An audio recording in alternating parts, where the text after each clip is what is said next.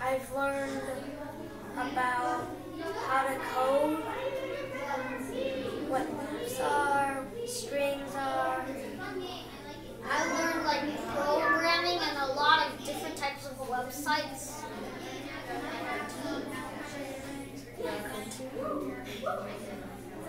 And um, some of the websites that we used during this camp Combat, Code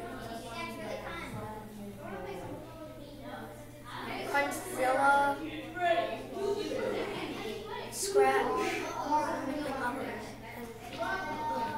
We, we, I used uh, Crunchzilla, Python Room, and uh, coding, CodingBat and coding combat.